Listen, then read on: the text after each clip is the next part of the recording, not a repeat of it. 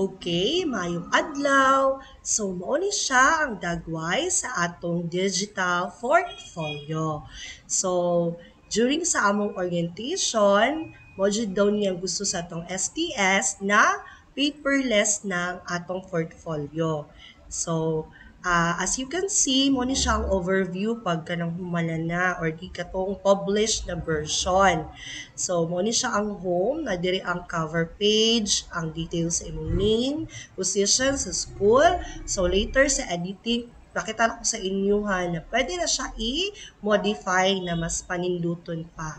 Then, EIPCRF, kung i-click na to na siya, okay, so naa dire EIPCRF. So, upload or share link your electronic or digital version of IPCRF. So, diri ato ibutang ang katong Excel sa atong IPCRF. Then, signed IPCRF, katong scan na nananay sa napirmado na, diri po ibutang. Then, e-portfolio. So, KRA1, i-click na to. Kung pag-click nimo ni 2023, naaning drop down kani sila. Pag-click nimo sa KRA1, mo niyang gawas. So, objective 1, MOV. So, naa mga blanco na pwede na to sudlan. So, objective 2, 3. Then, up to plus factor na na siya. So, unsa ko na to pag-access ani na template kanang editable kanang ma-edit na to. So, dali lang. Okay. Adto ta sa bit.ly slash digital portfolio 10. Enter. So, makita ni mo ning tulo ka file. Nasa teacher 1 to 3, master teacher 1 to 4, ug sa school head.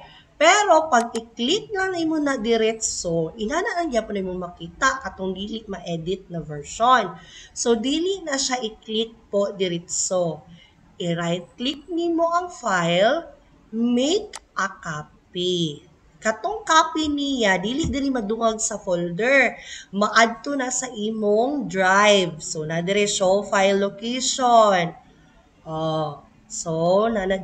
Okay, copy of teacher 1, 2, 3, portfolio. So, kung dili pa nimo maabtan tong show files, pakita sa imong drive. Tapos, i-rename nimo. Mas better kung i-rename nimo para di ka malibog. Butangan nimo ba nimo sa taas, ilisa nimo ng copy of ug pangalan nimo. Carla S. Panto. Okay. Okay.